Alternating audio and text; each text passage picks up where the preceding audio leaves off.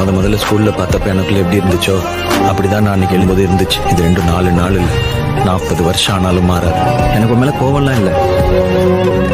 வருத்தம் உண்மையான காதல் என்று ஒன்று உள்ளது.